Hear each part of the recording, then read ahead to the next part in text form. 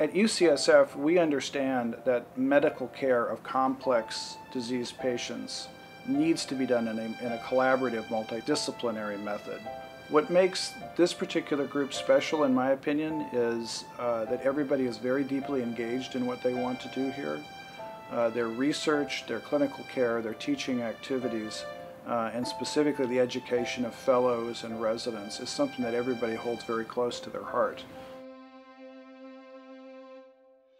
Here at UCSF in 2006, we developed a neurohospitalist program. Our idea was never to develop a model of care that just helps patients in San Francisco. Rather, we wanted to develop a model that can be used regionally and nationally to care for patients with a wide spectrum of neurologic disorders, including stroke. What we've spent a lot of time thinking about is how patients with neurologic conditions, including stroke, can develop delirium. By focusing on patients and how to prevent and then treat delirium, we have the opportunity to improve the entire hospitalization for our patients with stroke.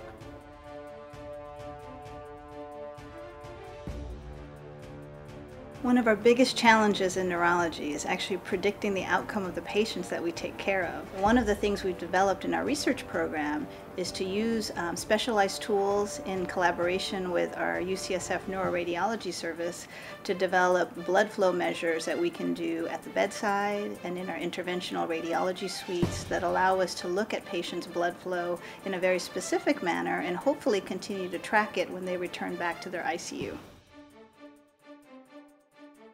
Collaboration is key in neurocritical care. It's just inherent to the specialty.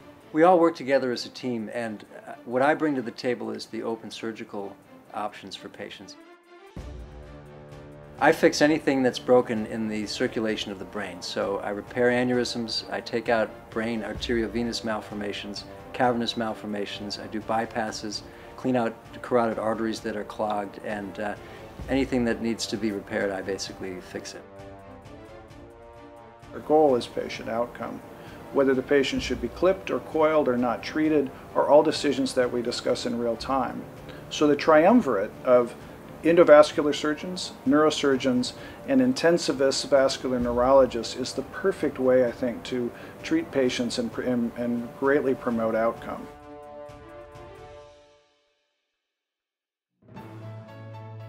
One of the things that we realize in taking care of patients in the hospital is that the transition from hospital to home is so important. And so we have our nurses call every patient that's discharged from the stroke service within 72 hours to follow up on medications, on follow-up plans, etc., so that that transition happens seamlessly.